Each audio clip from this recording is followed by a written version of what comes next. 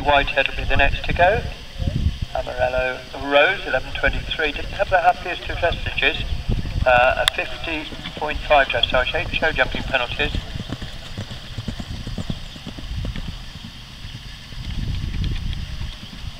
Uh, provisional score for Dusset, coolly done, inside the optimum time.